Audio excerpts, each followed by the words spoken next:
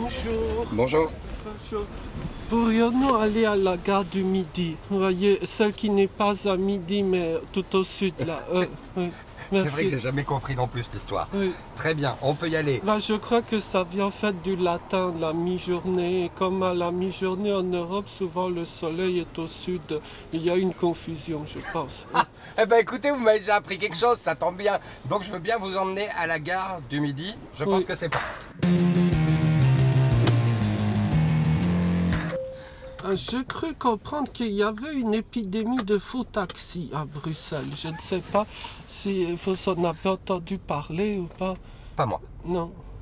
Oui. Moi je suis licencié. D'accord. Ah, nous avons donc... euh, nous n'avons pas de problème avec la FEBET, euh, la Fédération des taxis, non Non. on- Il n'y aura rien, il n'y aura on pas est- de souci. Vous êtes sûr euh, Je suis certain. D'accord. euh, Vous pouvez me faire entièrement confiance. Très bien.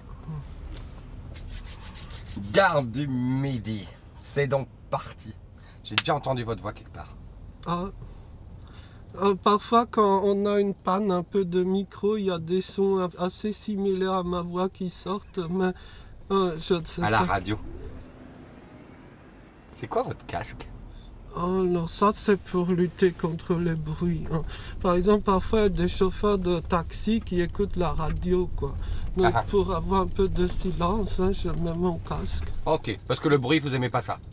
Euh, non, je n'aime pas ça. Le bruit parasite.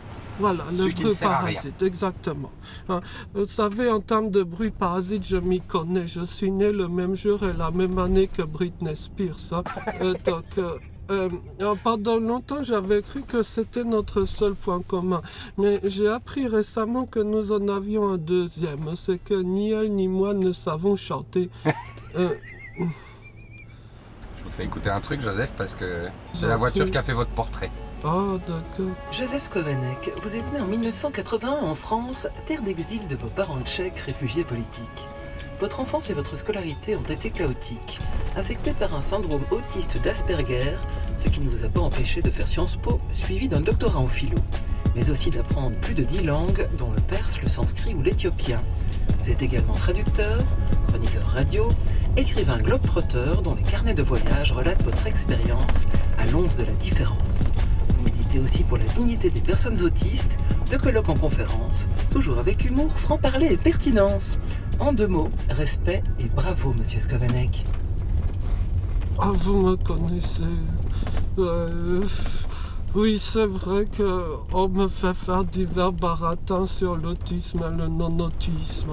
Mais il n'y a pas un combat derrière ça, parce que... Ah, assurément, il y a un combat. Ah. hein. Il y a tout simplement la question de savoir est-ce que notre société acceptera tout le monde ou pas. hein. Combien de personnes on mettra à l'écart ou pas. hein. Le grand débat euh, autiste, non autiste, c'est jusqu'où est-ce qu'on écarte les gens de la société? Oui, On est aujourd'hui dans une société qui fait ça, oui. plus qu'elle ne le devrait, Oui, avec les enfants différents, oui, les adultes différents, le racisme, évidemment, la peur de l'autre, les migrants, etc., etc. Quand vous regardez ce monde-là, vous en pensez quoi? Je, je n'arrive toujours pas à comprendre certains mystères du monde. hein. Pourquoi, par exemple, les gens ont besoin d'un ennemi, par exemple hein? Il y a des gens qui ont vraiment besoin d'un ennemi pour se sentir, entre guillemets, bien dans leur vie. hein. Euh, les gens ont besoin, par exemple, d'avoir peur d'un grand méchant qui bascule d'ailleurs euh, d'une année sur l'autre. Mhm. Euh, on en a vraiment besoin. Ce sont des bizarreries psychologiques. Mais est-ce que vous comprenez pour comment un être humain, soi-disant Oui, normal, oui, peut se dire que quelqu'un qui a quitté son pays parce qu'il devait quitter son pays, parce qu'il y est en danger et que Oui. ses enfants ils sont en danger, comment un être humain peut-il dire à ce moment-là, Joseph, moi je ne veux pas de lui, qu'il rentre chez lui, qu'il reste chez lui, lui l'étranger? Mais c'est- je pense que ça fait partie un peu des mêmes mystères. Par exemple, quand vous n'êtes pas vêtu à la mode et que vous êtes adolescent, eh bien, on se moquera de vous. Euh, je, je ne suis pas sûr qu'il y ait une réelle réponse. hein. Mais qu'est-ce qui fait peur dans la différence? Je pense tout. Ce qui fait peut-être fondamentalement peur, c'est qu'on se rend compte à quel point on est soi-même anormal lorsqu'on est face à quelqu'un de différent. Et on a très peur de perdre son statut d'inormal. Je le ressens encore régulièrement actuellement vu ma façon de parler. Le moindre petit handicap, notamment d'élocution, vous classe chez les gens dits déficients intellectuels.